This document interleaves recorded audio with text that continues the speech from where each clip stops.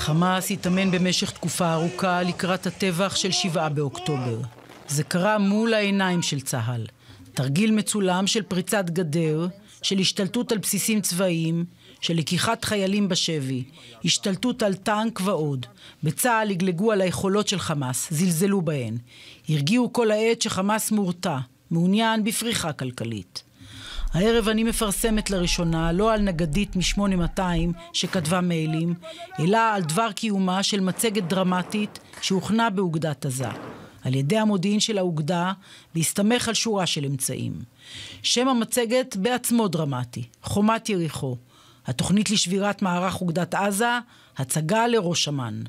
המצגת הזו הוצגה לראש אמ"ן חליבה במאי 2022. המצגת הוצגה גם לאלוף פיקוד הדרום אז אליעזר טולדנו. המצגת שמונה בין 30 ל-40 שקפים נפתחת לא ייאמן בציטוט מתוך הקוראן מסורה בשם אל-מאידה. במצגת מדובר על התוכנית של חמאס לפלוש לישראל באמצעות 65 פרצות שיעשו בגדר בנקודות מסוימות שמהן יחדרו לישראל. על הכנסת המחבלים על אופנועים ועל גבי רכבים דרך בניית גישרונים קטנים במקומות שיש בהם מכשול, אותה תעלה שבין הגדרות. במצגת מדובר על שימוש של חמאס בירי רקטי כבד כדי לייצר הסחה. ירי לעבר המצלמות, על שימוש ברחפנים ככלי נשק, על שימוש ברחפנים, על הגעה של חמאס ליישובים כמו אופקים, שדרות ועוד.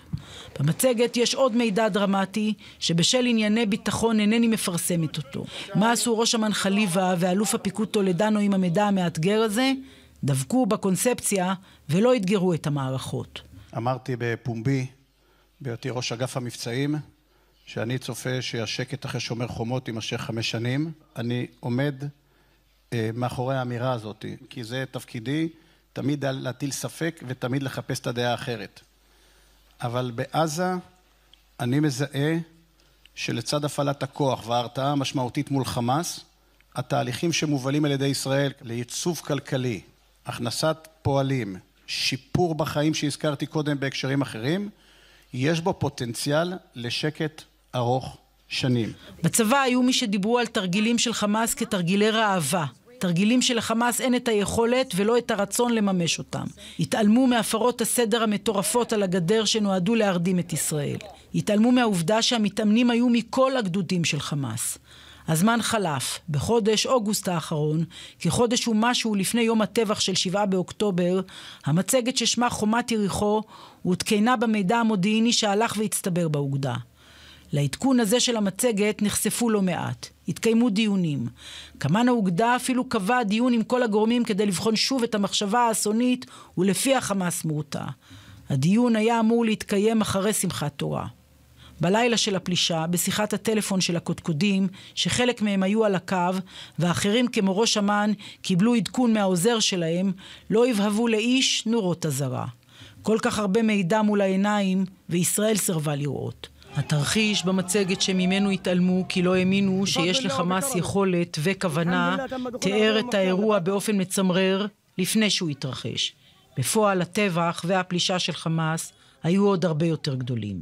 המצגות הללו משמעותיות בהבנת האירוע, אבל הכתבה שלי לא מתיימרת להחליף את הוועדה שתקום ותבחן את כולם, לאורך ולרוחב. כמו כן אין בכוונתי להטיל אחריות על איש או לנקות איש. חומת יריחו קרסה, אז בהיסטוריה, ושוב. כעת לוחמי צה"ל ומפקדיו נלחמים על ההגנה של כולנו, הם עושים זאת באומץ ובמקצועיות. עכשיו ברור לכולם שהיו טעויות מרות, שעלו לנו בדם, אבל ברור גם שיש לנו אויבים אמיתיים שלא עושים הבחנה. בשבילם כולנו יהודים שיש להשמיד אותם. From the river to the sea.